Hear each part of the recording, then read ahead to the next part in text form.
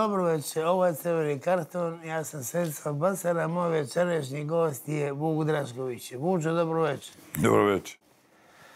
Kao diplomata sa ogromnim iskustvom i političar sa ogromnim iskustvom, volio bi da tvoje, čujem tvoje mišljenje o ovom slučaju na Vanji i pravcima koji mogu da, da iz toga nastanu dalje. Mislim da je sasvim izvesno da je ubijen, da ga je ubio režim, e, da je otrovan ovim e, novičokom, nervnim agensom i da zbog toga ne dozvoljavaju porodici da uzme telo, čekaju da taj novičok Ispari. ispari, pa posle toga obdukcija će pokazati da nema nikog otrova e, u telu. Mislim da je namerno za dan smrti odabran dan kada je bila ova Minhenska konferencija o bezbednosti. Time je režim u Kremlju poslao poruku, evo vam šta vi mislimo o poredku bezbednosti u svetu, o poredku bezbednosti u Rusiji, o vašim nadama e, da se nešto u Rusiji može promeniti i da Rusija može da Uh, ustane, da se digne, da se pobuni protiv ovih zločina koje činimo nad Ukrajinom i koje činimo i nad svakim u Rusiji koji se usprotivi. Strašno je, ja ne pamtim režim koji je to radio, da su pohapsili stotine ljudi koji su posle ubistva Navalnog uh, izlazili na ulice da za pokojnika polože cveće i upale sveće. Dakle, dotle je e, taj e, neonacizam, e, staljinizam, kako, ćete ga, kako ćemo ga nazvati, u Kremlju došao da je ubijanje apsolutno patriotski čin, da je dozvoljeno i normalno ubijati, a zabranjeno žaliti i zločin žaliti za ubijenima. Zar nisu računali na to da će, shvatili su na zapadu poruku, da će to još više homogenizovati zapad i ujediniti u naporima da doakaju Rusiji? Pa ne znam koliko će homogenizovati zapad. On je već homogenizovan, do duše malo pokoleban. Bio je pokoleban. Jeste. E sada, Eh, je je poruka Rusije da nikakve sankcije ne mogu da ih, eh, ne Rusije, nego režima KGB-ovskog u Kremlju, da ih eh, skrenu sa ovoga puta koji je put u provaliju. Osim toga, Amerika strepi, od moguće pobjede Donalda Trumpa, e, čovek na vest, ja mislim da je to jedini e, u Americi, čak i među republikancima, koji se nije oglasio i užasnuo zbog ubistva na daljnog.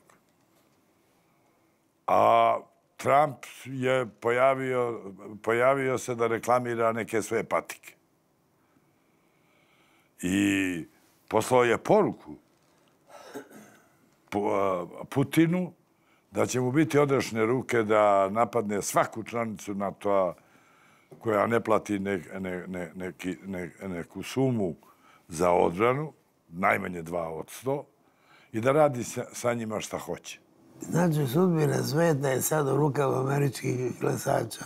Pa ja verujem da je to veliki autogol. Amerika je ipak uh, ozbiljna država i da ova pretnja uh, Trumpova, NATO u Evropi, podrška jednom zločinačkom režimu u Kremlju, će da postakne Amerikance da ne, uh, da ne dozvole da im se dogodi ta nesreća. Ali nevjerovatno je žila, stotine nekih suđenja su protiv njega vođena, pa negde, nikako da ga uklone iz trke. Pa ja mislim da je ključ tamo u Americi e, u rukama Vrhovnog suda. Da. Amerika je bila velika i bastion slobode u svetu.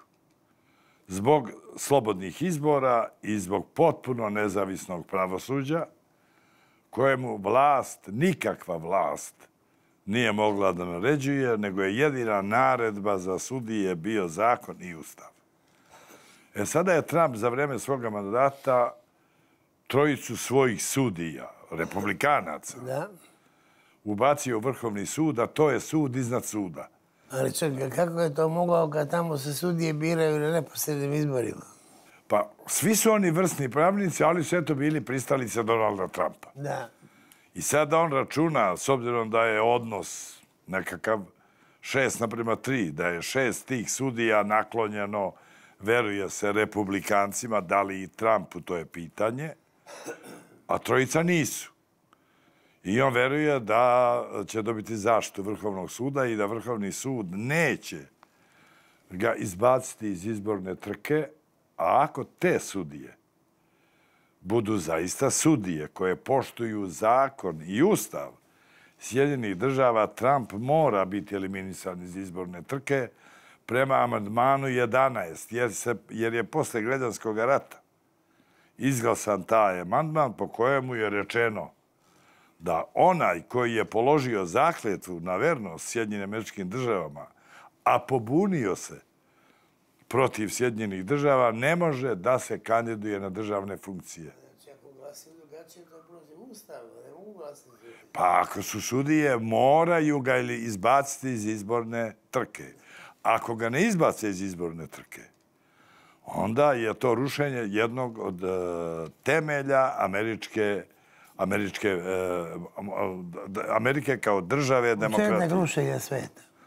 Pa početak rušenja sveta i ako uh, i početak uh, jed, ne, je, ne, nečeg jako, jako opasnog i da na zapadnoj hemisferi zapravo diktat, diktatori di, i diktatura dobiju svoju, svoju veliku šansu kao u Rusiji, kao u Kini, kao u Iranu uh, i ostalom delu prema mišljenju većine srpskog naroda slobodarskog sveta. To je taj BRICS, jeli? Na- Da, da, da. Ovde, ovde se, e, e, nažalost, situacija kod nas je dramatična. U duhovnom smislu je dramatična.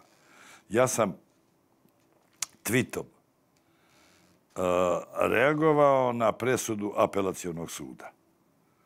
Oslobađanje onih koji su bili optuženi za ubistvo Ćuruvija i rekao sam da je ta presuda apte- apelacijonog suda trijumf državnog terorizma iz 90-ih i da se sud pojavljuje kao garant da, im se, da se u, ubicama koji su udbaši, komandanti udbe, u ovoj zemlji ne sme suditi. I da me ne bi iznenadilo da neko predloži da budu i odlikovani. I reagovao sam naravno i na vest da je ubijen Navalni. Na društvenim mrežama dobio sam toliko prijetnji smrću da je to začuđujuće. I toliko žaljenja što nisam ubijen 90-ih u, u, u onim atentatima koji su, a, koji su izvršeni na mene. Tebe, da.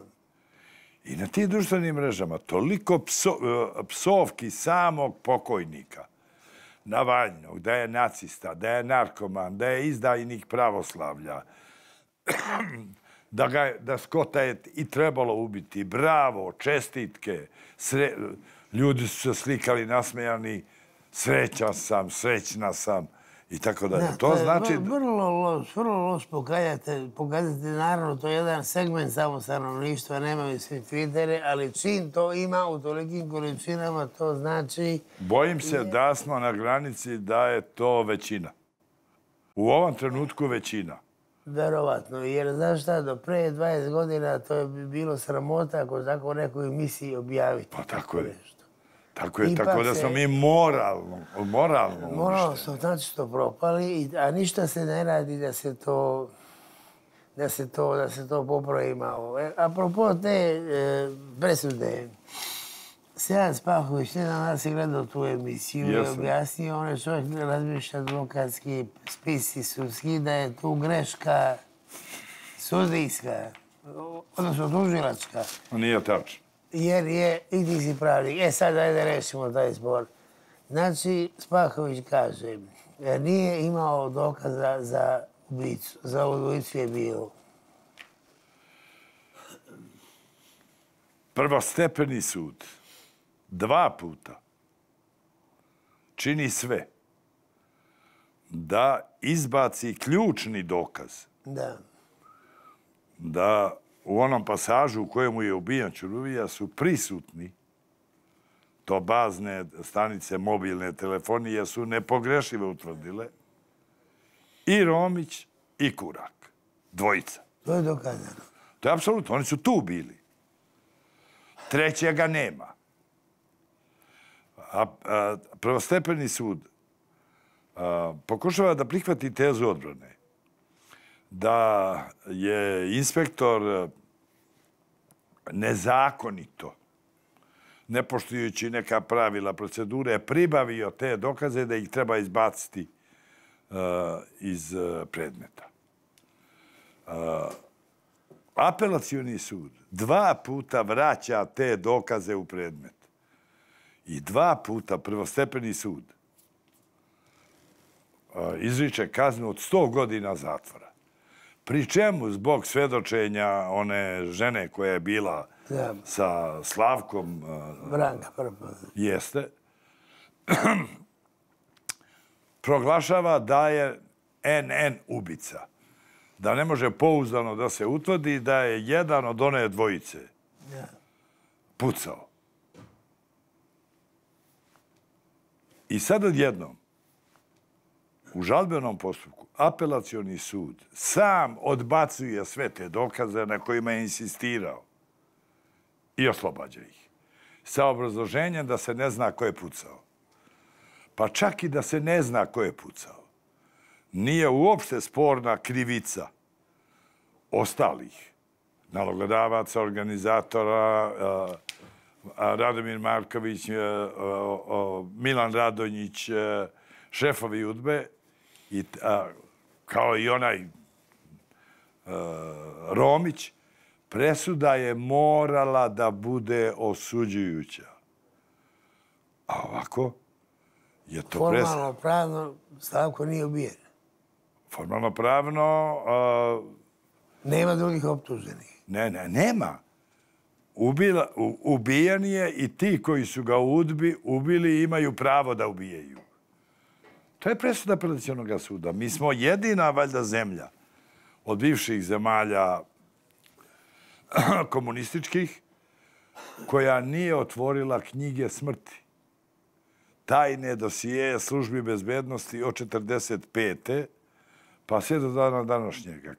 Evropska unija je napravila katastrofalnu, neoprostivu grešku, što odmah posle Miloševićevog pada nije bukvalno ultimativno zahtevalo od Srbije da otvori te tajne dosije, naravno, kao, kao, kao štazi, kao što su otvoreni u, u To je Češkoj. otvoreno nešto kao ti tvoj listića sa presretarnim, to je neka smejurija posle bila. Ne, ne, mi je- ovde takvog zahteva iz Evrope nije bilo. Nije bilo, da. Ovde jedini pokušaj da se otvore tajni dosije i bio je pokušaj SPO-a.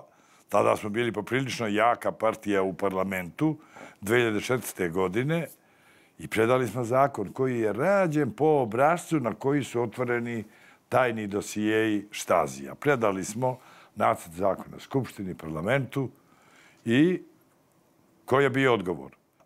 Niti je vlada ni skupština odlučivala, ali je udba intervenisala, Ko je tad predsjednik vlade?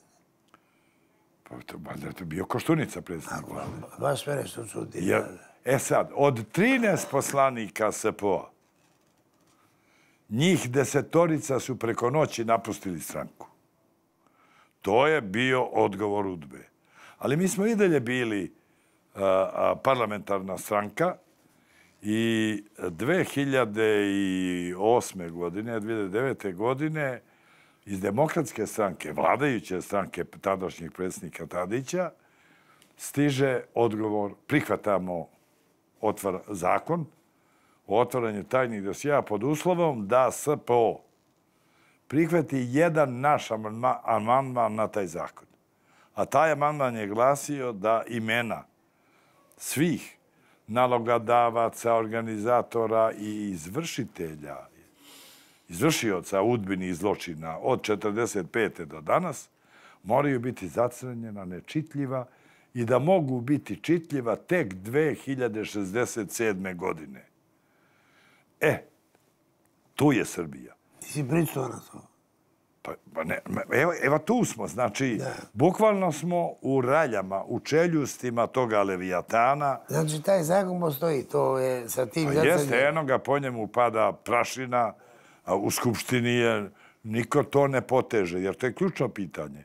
Srbija neće viđati Evrope, a, niti će ozdraviti ni moralno, ni duhovno, dok se ovaj posao ne obavi, dok se ta hidra ne razvlasti. To se govorilo još polovinom 90. i onda su mnogi naglo začutali. Pa govorili smo mi, pa čak je DOS koji je osnovan, ja sam osnovao DOS, u svom programu, a pisao sam i taj program, imao otvaranje tajnih dosija. Bez toga nema bilo ništa, to se znalo. Od prvorazrednog značaja. E sada pominješ uh, to da je tužilac uh, bio nesposoban i tako dalje. To nije tačno. Tužilac je uh, po meni omašio samo u jednom. Nije smeo prihvatiti kvalifikaciju da se ne zna ko je pucao nije smeo dati kredibilitet svedočenju te gospođe iz prostog... A ko drugi za svedoči? Nema drugog čekaj, čekaj, čekaj. Žena je udarena po svom priznanju. Pištoljem u glavu, polo nesvešćena, a i da nije bila polo nesvešćena, bila bi nervno šokirana i nesvešćena. Pala je u prašinu dole na beton, odležu pucnji, ubijaju Slavka, diže se prašina, a ona u takvoj situaciji je nepouzani svedok. Ne može ona da kaže jeste taj, jeste taj, nije, a pogotovo ne može da izjavljuje pred sudom da je ona u tom stanju iz ležećeg položaja na betonu izmerila da je ubica imao oko 187 cm. Posle takve izjave, svaki sudija bi uh, uh, to svjedočenje odbacio kao nepouzdano, s obzirom da je dato od svedoka koji je bio u nenormalnoj situaciji. Uh, I tužilac je pogrešio što je to prihvatio i što do kraja nije insistirao na kuraku kao ubici. A gde je kurak? Gde je kurak? U Africi, u ovim... Pa normalno, organizuje safari, turneje po Africi, a zašto za njim ova država nikada nije raspisala Interpolovu poternicu? Da se vrati, da dođe ovde? Ne. On je NN počinilac zato što je to Bože nedostupan. Dobro, recite meni, Vuče, koliko je imalo e, smisla podnositi amandman taj što si podneo? Ako se setimo da je... Ne, ne amandman, nego zakon. Odnosno predlog za zakon, kako se zove. Ako znamo da je odmah posle 5. oktobra Vojislav Koštunica e, prigrlio Radeta Markovića. Ama, a, to je tačno, a Đinđić Legiju. Ilić Legiju, a kolege nisu podaci. I, i, i, i, i, I Pavkovića, koliko mi se čini. E, Pavković je lebde ovamo tamo, ali Legija nema podatke. I jedni i drugi su u kanđama udbe, jer šta je 5. oktobar? Da. Pada zahvaljujući tome što elitna jedinica smrti Milorada Lukovića Legije, koja je počinila tolike zločine od Ibarske magistrale, ubistva Ivana Znamorića, njeni ljudi su i ovi što su bili Čuruviju i tako dalje, podržava DOS, izdaje Miloševića, a DOS sa njima sklapa koaliciju. Koalicija sa tom terorističkom jedinicom je pozadina ubistva koje će se dogoditi tri godine kasnije samog Zorana Đinđića. A istovremeni dokaz da je ceo taj projekat zapravo režirala UDBA. Nemojmo relativizovati ulogu ovoga zaštitničkog odnosa Koštunice prema Radetu Markoviću koji je šef UDBE. Znači, on, imaju tri mjeseca, koliko više? On jeste šef UDBE, on jeste koliko serijski... Je, koliko je ostao tamo i na Kosten? Molim? Koliko je bio dugo vremena? Gde? Posle 5. oktobra. Pa posle 5. oktobra bio je sve dok nije izabrana vlada Srbije. E, to je četiri po... mjeseca, recimo. Da, četiri mjeseca. Znaš šta četiri mjeseca može se prepraviti? Jeste, svašta su učinili, spaljivali dokaze, uh, to može da spaljivali se... dosije. Da, bome, znači elektronskim putem to može da se napravi potpuno nešto novo što ne žele. Može, oni mogu sve. Možda, što je možda moglo da se otvori. Oni mogu sve. I njihovi oficiri ovde mogu sve. Pa pogledajte oficire UDBE šta ovde izjavljuju.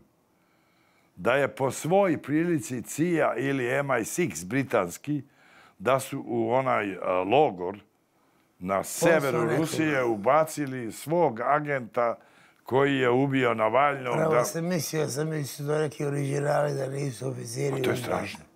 Pa to nije, to je nedostojno Oficiri UDBE su danas u vlasti, u pravosuđu, u medijima, u vojsci, u konzulatima, u, konzulatima, u ambasadama. Da. Na, naprosto, pa vi imate, vi imate situaciju da i šef države uh, zastane, objavi da nisu u kafiću Panda srpske đake, decu ubili ni Albanci, ni stranci.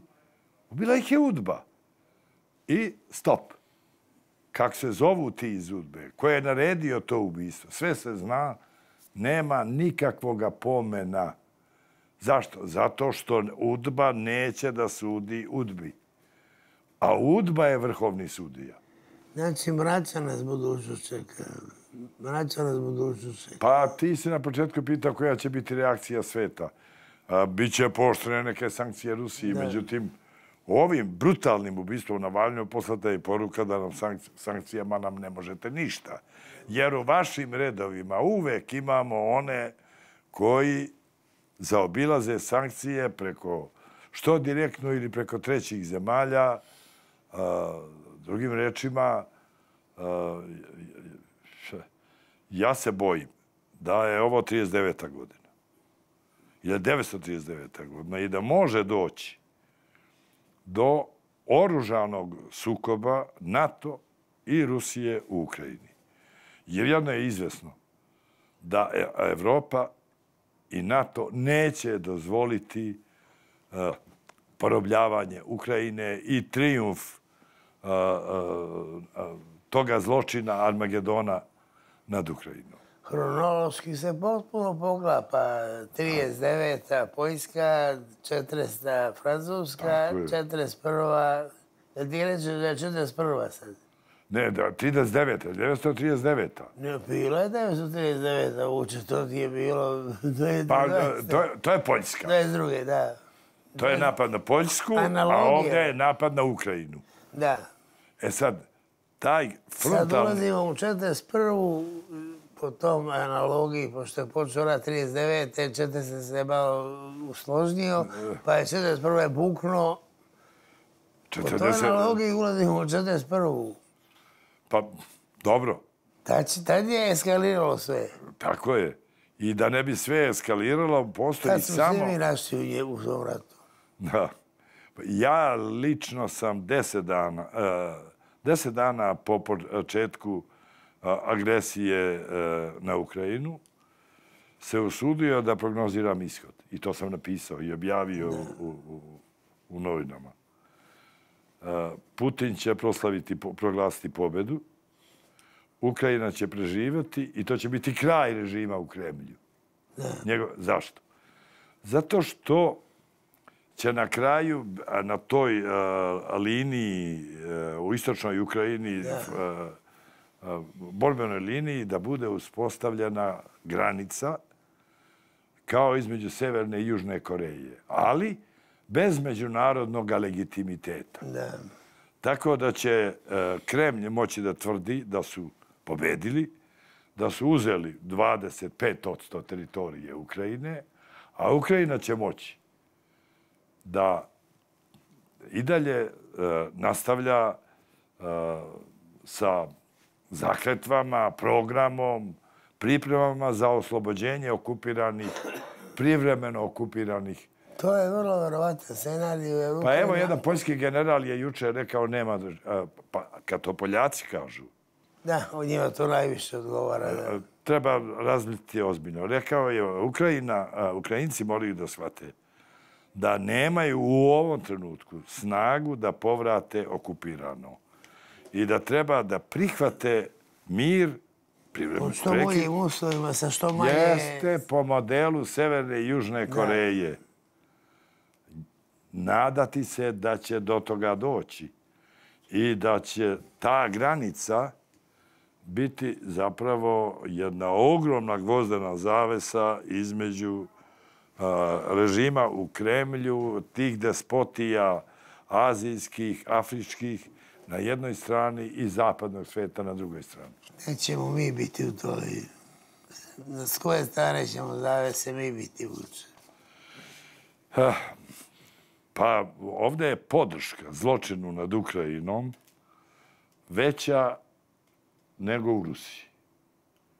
Ja mislim da ima mnogo više Srba danas koji su srećni zbog ubistva Navaljnog nego što ih ima, nego što ima Rusa u Rusiji koji se raduju tome zločinu. Strašan je zločin duhovni napravljen, ova propaganda KGB-ovska, Eh, je napravila nad, na, na, nad Srbijom. To je strašno.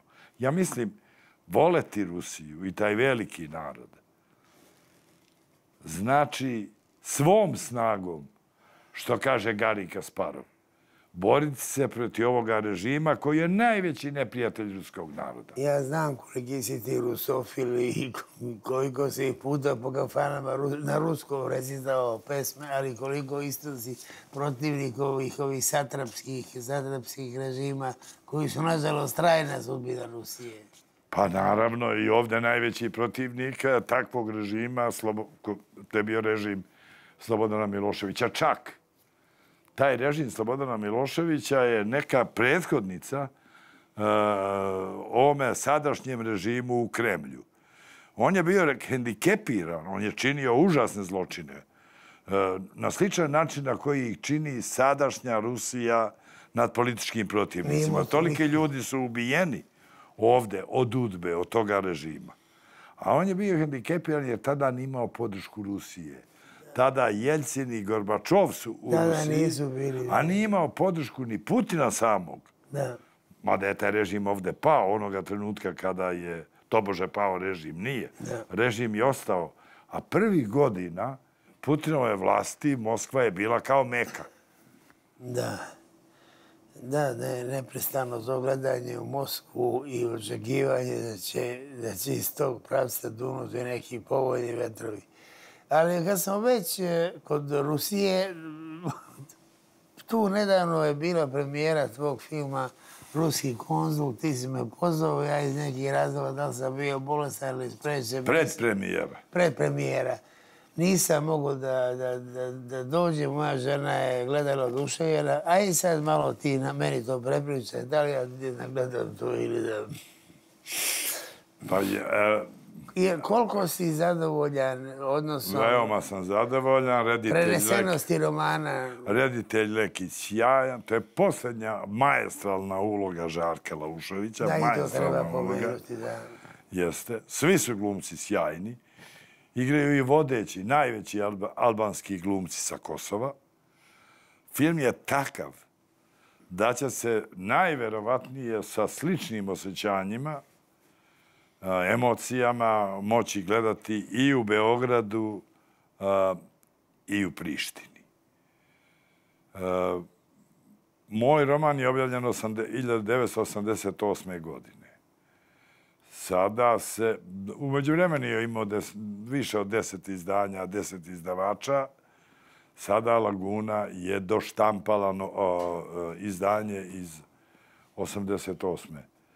Uh, ja sam, uh, da ti ispišem jedan detalj, roman je preveden i na ruski. I u Rusiji bi zašao? Ja, kako da ne?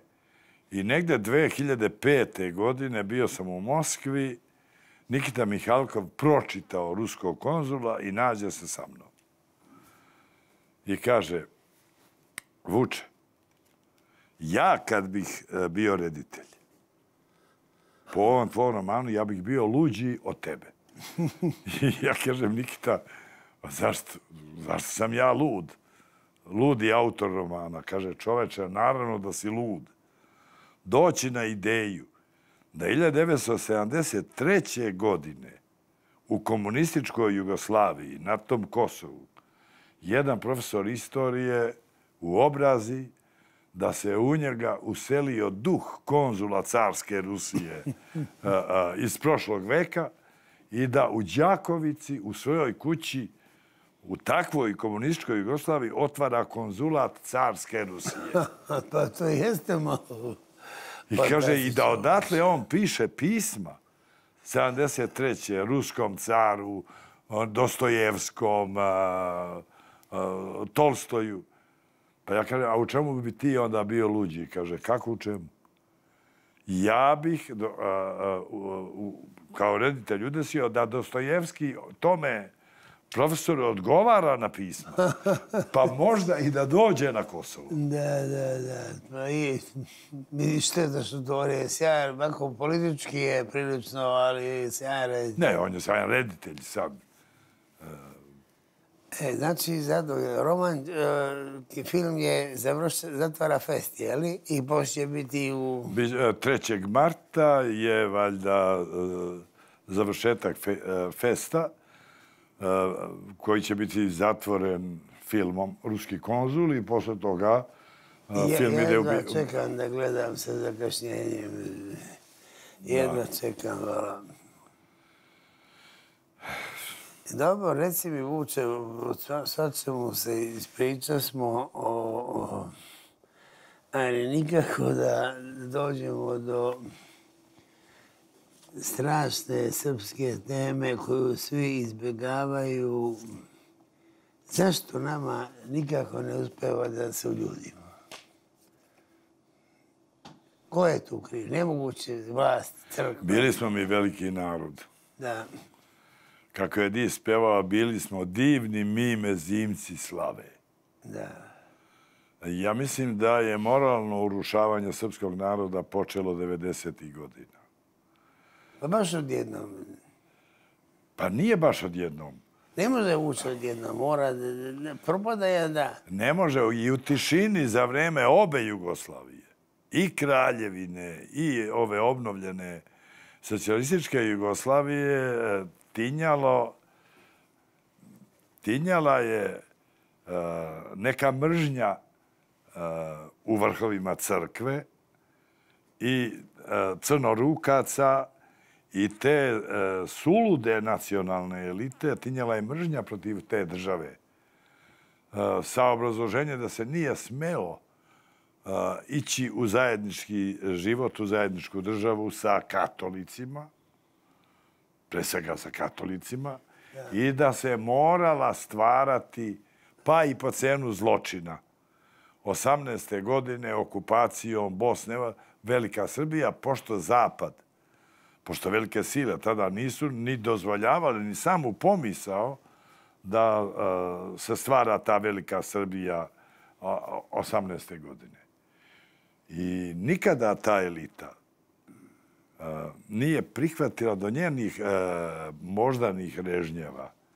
Nije mogla da prodre ideja da je Aleksandar Karadžorđević 18. godine stvorio najveću Srbiju koju se ti borci za Veliku Srbiju nikad nisu ni u snu mogli da založe. Od Soluna do Alpa. I ta im najveća moguća Srbija je smetala zato što je to bila Srbija zajedno i sa Slovencima, i sa Hrvatima, i sa muslimanima, i sa Albancima, i sa Crnogorcima. Traže, ne znam šta, zločin neke čiste Srbije. Znači, nije ipak počelo sve za vreme komunizma. Ne, ali je tinjalo. Ne, tinjalo. Nije, boga mi, tinjalo u. Pra- Čitao sam dosta perioda između dva rata. Malte ne isto. Crkva Mahnita potpuno isto kao sada. To je tačno. E, Do, do te mere... Zborovi razni, zborovi razni, svetosavci, kako se zovu, molitveno ljubci, Pa neki, prvi put Izrael Svetosavska crkva. to se 36. javio. 33. Dimitrije. Najdanović. Da. Do tada u našoj crkvi ne postoji Da, taj termin. A kralj Aleksandar je neki- nameravao... Izvili. Bogomoljci isto pišu kao i današnji, eto, Tačno. upropasti na zapad, sve su nam doneli, e, znači isto onda te nacionalne elite, što ti kažeš, huškaju protiv... e, Tačno. Šta? I dobro si to primetio. Možda je naj uh, ofanzivnije, najprimitivnije crkva nastupala baš uh, u Kraljevini Jugoslavije. Upravo to. Znači, sad, nije, sad nismo pod okriljem iste e, države, ali to je sad isto to. Juliša se na sve je. strane. Tako je. Tako je. I Aleksandar u razgovoru sa Ivom Meštrovićem pred put u Marsej Da. kaže da će on po povratku da udari na epicentar neprijatelja prema zajedničkoj državi i da ti neprijatelji nisu u Zagrebu, a, nego su u Beogradu. I pri tome misli pre svega na crnorukce i na te ljude e, iz e, e, e Srpske crkve. On se čak, ja u svom romanu se nisam usudio, Čekaj, već je bio se razmrsio na Solunskom sa, sa narukcima. To je rešio. Jeste, a ja se u romanu nisam usudio jer sam onako prešao mnogo crvenih linija. Jer smo vaspitani na lažima o Kraljevini, o Aleksandru. Da. O, I on se zanosio mišlju da uh, ponovi ono što je uradio Petar Veliki u Rusiji kad je rusifikovao Rusiju. Da. I kada mu je najveći protivnik bila Ruska pravoslavna crkva. E, da, zaveo I kada je bukvalno ukinuo sinod, uh, funkciju patrijarha, uveo dvorski sinod, a sam car je na određeni način bio i glava crkve. I samo tako je taj Petar Veliki, slomivši tog najvećeg duhovnog neprijatelja, Da, da, to je, to je bilo... je negdje, mogao da napravi onu moćnu proevropsku uh, Upravo, upravo. Rusiju. A Aleksandar se zanosio istim idejama kad je u pitanju kad je u pitanju uh, Ne, mnogo vam pozitivnija ličnost nego što ga je i komunistička i ova postkomunistička historiografija predstavlja. Da ne ne pada na um da možda od raznih prsti u koje su umešano Aleksandrovo ubistvo ima i tih. nema. Nema. Glavni pokrovitelj finansijski je Mussolini. Mussolini, dobro. A glavne ubice su Ustaše Pavelićeve koje unajmljuju onoga Bugarina crnozemskog Da, da, ne, da bude neposredni pucač. da. Nemačka nije učestvovala u, u, u- nikakvoj e, e, akciji pripremanja atentata. Mađari jesu, Italijani, e, Mussolini jeste, Bugari i Ustaše. Da. E, tako je to, Boga mi. Kad god se, nam se dogodi neki kralj, knjaz sa dobrim namjerama, daj repoživi dugo. Odma, odma e, glavu polaže na panj. Složna braća, kako ih Odmah ja glavu polaže na panj. Pa, e, pa mi smo sad u jednoj fazi moralnog propadanja i neke vriske i pevanije Da. bez ikakvoga pokrića i kič pevanije, kič radovanja i pravljenja kič istorije. Sve me podsjeća na jednu pticu koja je e, sebe ubijala pevajući. A, reči u našem jeziku, a, kada jednostavno propadaju i duh i moral, kad sistem vrednosti postaje magareći sistem vrednosti. Za magarca, magarac između pleve i zlata nikad neće zabrati zlato. Da. Došlo je dotle da i neke reči u našem jeziku gube značenje. Ja sam sa drugim, s drugim osjećanjem i doživljajem izgovarao reč Srbija. 90. nego što izgovara danas. Osramotili su i značenje... Isti slučaj. Jedna je reč 65. druga je... Tako je. 75. 95. Sad pravo ti ga ne volim da čuje. Pa tako je mi je ovaj dan državnosti sretenje. Pa čekaj, sve mora da ima svoju meru i sve mora biti na jedan razuman, tihi način kazano. Pazite, pazi se, malo pre sam ti rekao, u šumi je onaj šumski divlji med. Nema ništa zdravije od njega. Ali ako se prejedeš i toga meda, možeš da umreš. I mi smo tamo istakli e, nesrećnog Karadžorđa i Miloša, nešto su pričali, progovorili, pravili predstavu koja se na kraju pretvorila u nekakav, ne znam nija, nekakav urlik da je Jugoslavija, stvaranje Jugoslavije 18. je bila velika zabluda. To zaključili Karadžorđe i Miloš. Pa, ali od njih je sve počelo. Međutim, ponekad i u tragične istorijske i u velike istorijske događaje treba se obratiti ljudima od duha. Pera Pajić, bio je tvoj prijatelj kao i moj prijatelj. Ima divan stih. Ajde, čujemo. Srpskog vođu Karađorđa ubio je drugi vođa. Ubijenom i ubici dignuti su spomenici mesto gde je bilo klanje, Srbi zovu radovanje. To je pesma Valjevčanina, našeg zajedničkog prijatelja. Da, Pere, dragog Pere, Pere Pajića, da bome... Petar Pajić, veliki pesnik. Da, da, malo to radovanje, mesto klanje, stvarno je... I njegova pesma gdje kaže bio sam nas u Srbiji, Srbija je na robiji. Pa to je pisano pre 40 godina. Da, A čitate i danas sa istim osjećanjem. Da, i sve ta, svi ti lepi izgledi srpskog duha su pozaboravljeni. Pa ne, ne. Jedno... I koje, kakvi su tu neke, neke polupevaljke, neki, neki lumpen pevači. E, to je naš najveći pat. Lumpen pevači, neke, neki zurlaši, neki sakoni, bože, ne znam više ni šta je. Samo je bitno staviti crvenu trobojku Da. I da tu Arlauce, Srbija, Srbija, Srbija. Pa i zastava gubi, gubi svoj sjaj, tako. Pa gubi svoj staj. Kad kreneš odavde prema Novom Sadu, ti dok pogledaj ti seđeš, ti vidiš špali zastava. Pa čekaj, zastava stoji na, na državnim ustanovama. Na državnim ustanovama, nigde drugi. Osim praznicima. Preterivanje. U mom romanu Ruski konzum. Da. Uh, ima jedna rečenica da su Rusi uh, sanjajući ruskog Isusa da.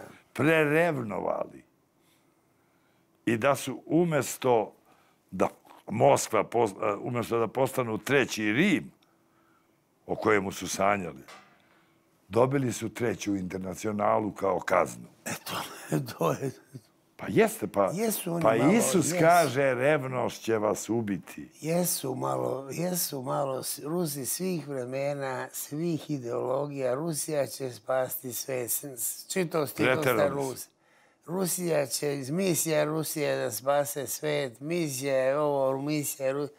Ali svi, od e, anarhista do, do, do, do Tako je. I evo, dođe smo do te kako da vidimo kako će se da Rusija spase svet.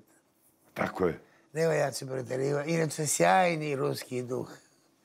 Kad je doveden do preterivanja, proizvoje loše posljedice. Pogotovo kad dopadne ljudi koji su skučenih pogleda. Jeste, ja sam recimo za, uh, u drugoj polovini 90-ih i do 2005. 6. godine u početku Putinove vladavine, sa neviđenom radošću odlazio u Moskvu i posmatrao nešto što se ne može opisati.